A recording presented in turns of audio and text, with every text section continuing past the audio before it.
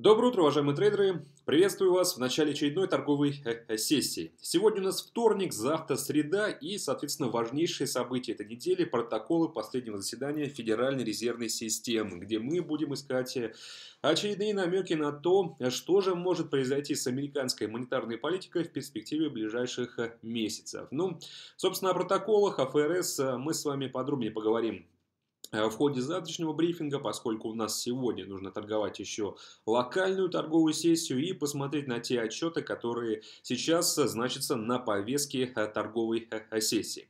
Огромное всем спасибо за посещение вчерашнего вебинара «Правильный понедельник». Надеюсь, что Э, за отсутствие в рамках недели э, образовавшийся информационный э, пробел, мы вчера его запомнили. Если остались какие-то вопросы недоразрешенными, не закрытыми, напоминаю то, что у нас по-прежнему действуют широкие коммуникационные возможности. Это общение через канал на YouTube и форума Markets, где есть специальная аналитическая ветка. Уверен то, что скажем, та тема, которая вас интересует, ее можно будет там легко раскрыть, и вы получите непременно ответ не только от меня, но и тех трейдеров, которые присутствуют на форуме и готовы поддержать подобного рода тематику. Поэтому пользуйтесь такими локальными возможностями, и э, если есть э, необходимость что-то узнать в моменте, это может быть даже быстрее, чем дожидаться очередного брифинга, ну, либо вебинара, где мы можем пообщаться в прямом эфире. Отдельный привет тем, кто сейчас находится через Перископ в прямом эфире. Те, кто не смог присутствовать, э, скажем, на прямой линии, будет доступна запись э, буквально э, после того, как мы проведем сегодняшний брифинг. Ну а теперь давайте переходить к нашему традиционному фундаментальному анализу. Продолжаем цепочку сводок новостей, преемственность макроэкономического фона. Продолжаем копить поводы для возможности реализации тех инвестиционных идей, которые мы поставили, ищем дополнительную поддержку э, к этим идеям, стараемся найти более приемлемые уровни и э, стараемся в целом быть в курсе всего, что происходит на рынке, потому что для фундаменталистов это очень важно. Начнем мы сегодня, как и всегда, с динамики черного золота и бренда. В частности, актуальные котировки мы видим 37.51, допускаю, что за последние несколько минут бренд еще немного просел, потому что сегодня с азиатской торговой сессии Распродажи возобновились, в целом этот актив слабеет, снижается. И главная причина, если вы не копались, опять же, в сводках СМИ, ничего страшного, главная причина заключается а, в том, что на рынке нарастает скептицизм, связанный с э, тем,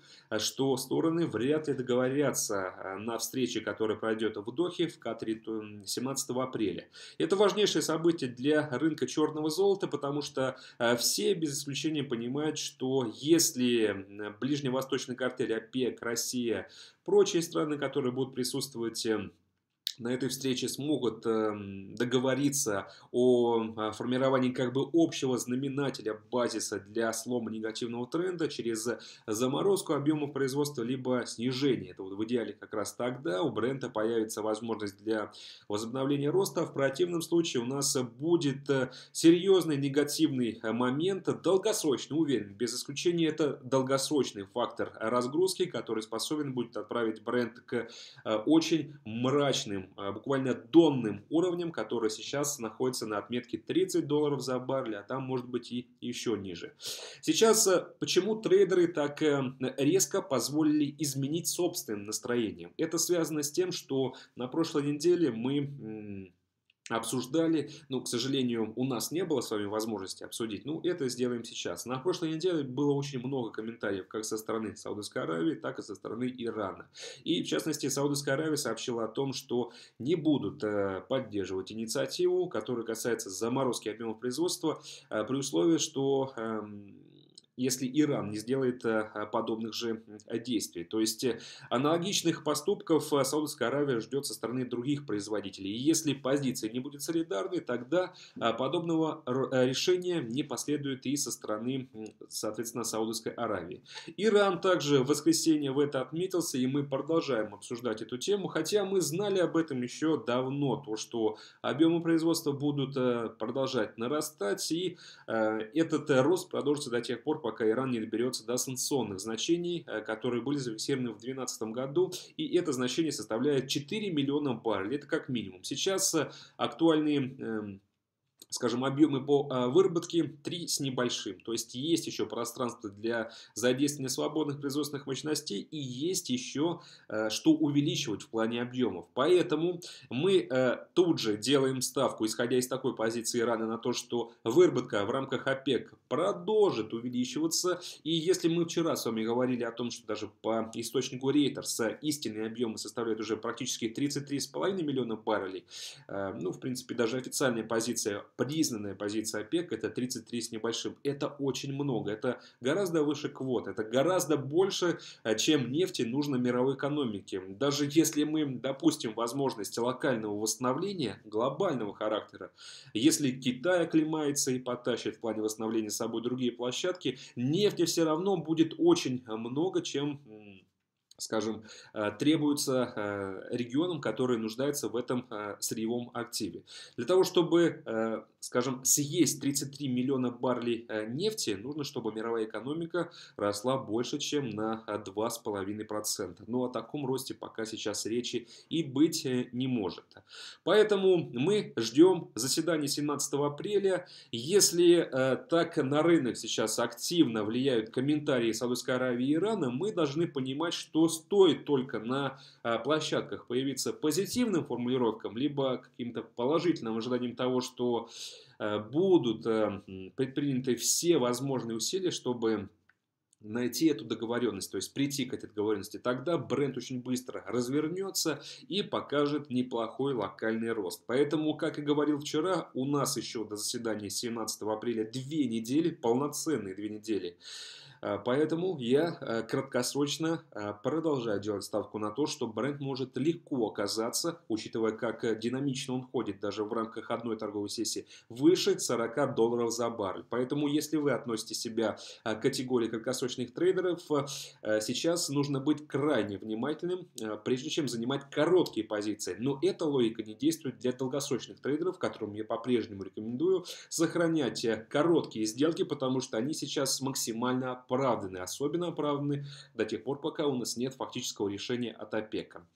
А что касается России, также выписал себе э, цифру, хочу ее вам озвучить, то что в России э, нефти также продолжает увеличивать с точки зрения производства. Мы все это время говорили о э, ОПЕК, говорили о Соединенных Штатах Америки, когда-то мы касались темы по выработке в России, но а сейчас очень важно понимать то, что производится э, больше 10,9 миллионов баррелей нефти в сутки. А чтобы вы понимали, это максимальный уровень, больше, чем э, в, э, даже во времена Советского Союза.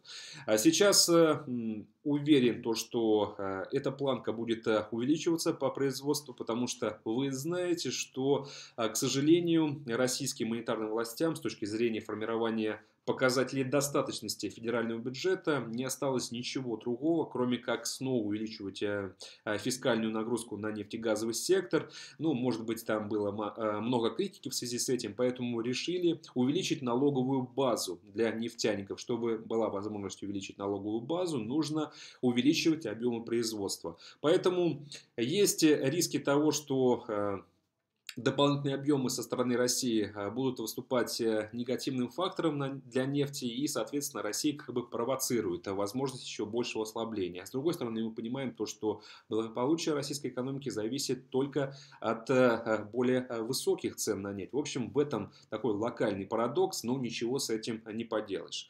Российская валюта 68.73 без изменений. Ослабление нефти тащит за собой и курса российского валютного актива. А вчера основное даже снижение по бренду ближе к концу торговой сессии уже э, случилось после закрытия российского фондового рынка, поэтому полагаю, что сегодня стоит ожидать э, возобновления давления на э, курс национального валютного актива против основных конкурентов доллара и евро. Но если я уже краткосрочно сделал ставку на ожидание вероятного спекулятивного роста бренда, если только новостной фонд будет этому способствовать, тогда и рубль также еще может показать свой характер в краткосрочном Э, формате и укрепиться вплоть до отметки 68, может быть 67,5. В общем, краткосрочно я пока не э, хочу уводить вас с идей, которые допускают возможность все-таки револьвации курса э, российского валютного актива. Долгосрочные идеи, так же как и по бренду, к сожалению, мрачные, пессимистичные. Если ожидаем по нефти серьезное ослабление, по рублю а в целом я хочу, чтобы вы понимали и были в курсе моей позиции. Я не исключаю снова возвращения пары USD RAP в районе 80, а может быть даже еще и выше. Сегодня в 16.00 по московскому времени выйдут данные по индексу потребительских цен в России. Завтра мы вернемся вернемся к отчету по инфляции. В российской экономике полагаю, что эта статистика может э, возыметь локальное влияние на курс национального валютного актива, но учитывая то, что в последнее время мы все-таки видим уже возобновление пресса на курс рубля, наверное, это сказалось и на динамике индекса потребительских цен. А, конечно же, в сторону повышения. Рост индекса потребительских цен – это дополнительное давление на активности потребителей и еще один негативный фактор для российской экономики и, соответственно, той валюты, которая за ней стоит, то есть для рубля. Далее идем. Европейская валюта против доллара. Актуальные котировки 1.1379. В целом вчерашняя торговая сессия оказалась распродажной для главного валютного риска. Доллар отбил несколько пунктов, но снижение было незначительным.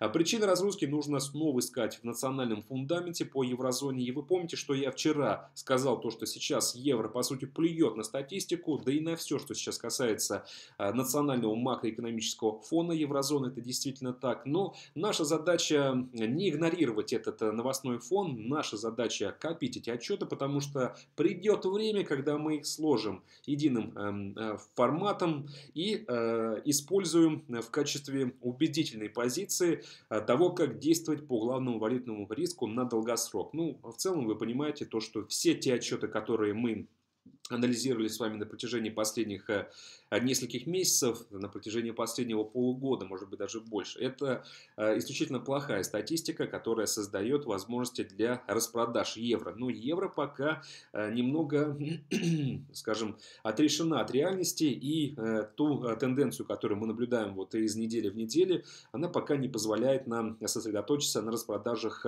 соответственно, евро против доллара. Если вернуться к вчерашнему макроэкономическому экономическому фону. Вчера вышли данные по индексу цен производителей в рамках еврозоны. Отчет плохой, а в целом по цифрам минус 0,7 в месячном выражении против прогноза минус 0,6%. То есть хуже ожиданий. Что касается годового э, индикатора, минус 4,2, э, соответственно, в годовом выражении с прошлого снижения на минус 3%. Напоминаю то, что индекс цен производителей – это один из компонентов э, индекса потребительских цен, то есть той самой проблемы, то есть низкая инфляция низкая инфляция, которая является ключевой для всего э, валютного блока. И если мы видим то, что статистика, которая предваряет будущие показатели по инфляции, указывает на возможный спад, значит мы снова говорим о рисках э, э, дефляции, и это полномерно выводит нас на предположение, а не стоит ли Европейскому центральному банку задуматься о возможности каких-то дополнительных действий для того, чтобы простимулировать экономический рост и попытаться решить эту проблему с низкой потребительской активности. Э, на мой взгляд, это актуальные вопросы, особенно после комментариев ведущего экономиста Европейского центрального банка Питера Прата на прошлой неделе о том, что ЕЦБ задумывается о возможности еще одного снижения процентной ставки. Но задумывается о снижении, снижает процентную ставку, расширяет программу QE. Мы все это слышим буквально каждую неделю. Мы знаем то, что это серьезный риск для валюты через расширение баланса центрального банка. Ну разве евро реагирует? Нет, евро продолжает расти. Поэтому сейчас э, Полагаю, что нам нужно быть, э, может быть, даже более адаптивным, чем ФРС в отношении национальной экономики, и уж тем более Джанет Йеллен в отношении статистики. И э, касательно евро, э, сделать э, все-таки такой реверанс в пользу вот этого роста. Если уж евро так хочет активно задрать э, собственные позиции выше э, текущих уровней, наверное, нужно позволить это сделать. Тем более, что мы все уже в глубине души понимаем, что евро стремится к какому-то сакральному для себя рубежу, который для многих пока не очевиден. Но даже для меня он не очевиден. Но я считаю то, что, как я отметил вчера, это где-то в диапазоне 1.15, эм, 1.18. И до тех пор, пока европейский валютный актив не доберется до этих э, значений, мы с вами не сможем э, уже целенаправленно собраться с силами и поставить на э, то самое ожидаемое ослабление главного валютного риска, которое нам хочется видеть. Поэтому краткосрочно по евро я снова ставлю на рост и считаю то, что в ближайшее время мы сможем вместе с евро оказаться выше планки 1.15. И на статистику, к сожалению, пока не обращаем никакого внимания, потому что на нее не обращает внимания сам актив, который стоит за еврозоной. Далее идем. Э, доллар японская иена. Видим то, что американец э, активно сдает позиции японскому конкуренту, а иена как раз использует максимум возможностей от локального новостного а, а, фона. Причина распродаж доллара – это по-прежнему резонирующий эффект от заседания и пресс-конференции Джанет Йеллен, которая состоялась на э, прошлой неделе в Нью-Йорке. Джанет Йеллен, к сожалению, поставила крест на перспективах повышения ставки в апреле. Мы настраивались на то, что что-то может случиться э, в ходе ближайшего заседания, но эм, Соответственно, председатель ФРС ясно дал понять, что такие ожидания пока, эм, скажем, питать не стоит. Ну, если так, э, тогда давайте все-таки послушаем такую позицию. Если нет оснований надеяться на какие-то сюрпризы, значит не будем надеяться. То есть пока оснований для роста американца локально нет, но это только с точки, эм, э, с точки зрения официальной позиции американского регулятора. При этом мы понимаем то, что объективно предпосылки, они, их можно найти, особенно после а, того новостного макроэкономического фона, который у нас э, был в прошлую пятницу, целый блок статистики по индексу разгона показателей инфляции, э, в целом э, количество новых рабочих мест вне сельскохозяйственного сектора, статистика по динамике в сфере услуг и рост заработных плат. Везде хорошие цифры. Может быть, эта статистика сможет убедить Джанет Йеллен вот в ближайшее время, тогда и она она изменит собственному позиционированию и признает то, что экономика готова к повышению процентной ставки. Но пока рынок реагирует на ее сверхмягкие комментарии и в качестве реакции совершенно очевидно снижение индекса доллара, который в этом году в первом квартале показал самый худший результат с 2008 года. Мы видим, как снижаются доходности американских трежерей, что также не поддерживает э, американца.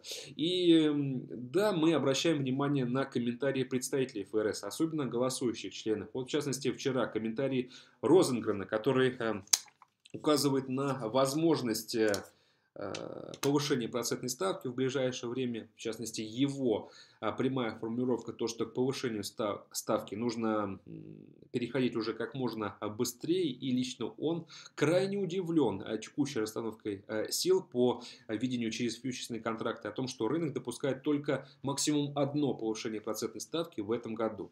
Напоминаю то, что Розенгрен является голосующим членом, и мы подобные позиции слышали неоднократно со стороны и других высокопоставленных чиновников, но Джанет Йеллен имеет другую позицию, то есть нет единство в рамках ФРС, и это немного бесит. Я надеюсь, то, что а, статистика а, все-таки сможет переубедить Джанет Хелен, потому что уже никто не сомневается практически из ее ближайшего окружения в том, что экономика готова к тому, чтобы неплохо противостоять глобальным угрозам и, соответственно, тем рискам, если они есть на внутреннем рынке, которые, на мой взгляд, э, не так уж и актуальны сейчас, особенно после, опять же, последних макроэкономических данных.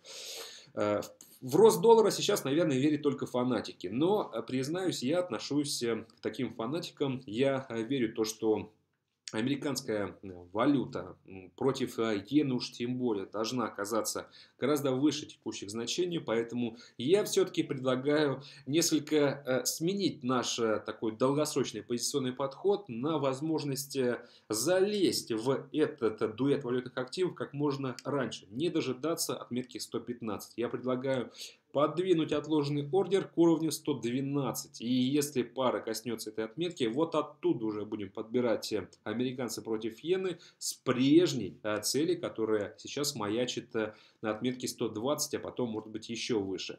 Но и с точки зрения техники я также допускаю тот факт, что если USD иена продолжит снижение и умудрится оказаться ниже 110-60, тогда будет возможность увидеть еще более низкие ценовые значения. Если хотите рискнуть, как краткосрочно. Дождитесь тестирования этой поддержки и поставьте на еще локальное ослабление. Но если не хотите рисковать, тогда ждите вместе со мной движение пары к уровню 112 и уже оттуда покупайте против японца. Тем более, что в отношении Опять же, японская валюта, у нас есть ожидание того, что Банк Японии может перейти к э, дополнительным мерам экономического стимулирования до э, летних э, выборов в Верхнюю палату парламента. Если эти меры будут анонсированы, тогда ослабление не заставит себя долго ждать. Фунт против доллара 1.4248 сейчас на экранах.